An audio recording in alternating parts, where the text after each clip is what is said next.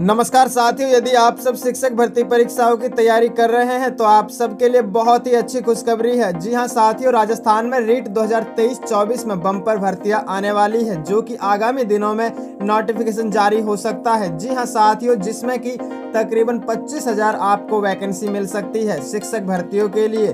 यदि आपने बारहवीं पास करके डी एल एड या B S T C B Ed pass किया हुआ है तो आप रीट भर्ती परीक्षाओं में शामिल हो सकते हैं। जी हाँ साथियों, यदि आपने भी रीट पात्रता क्लियर की हुई है और आपका भी सपना है राजस्थान के अंदर रीट पास करके टीचर बनने का तो आप अपने सपने को साकार कर सकते हैं।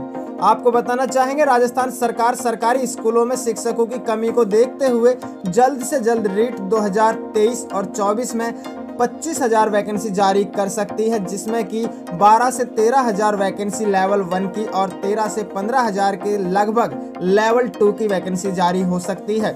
सिलेबस आपका वही रहने वाला है जो 2022 की रीट भर्ती में था और इसकी जो भर्ती परीक्षा होगी, उसे राजस्थान कर्मचारी चयन बोर्ड के द्वारा आयोजित किया जा सकेगा।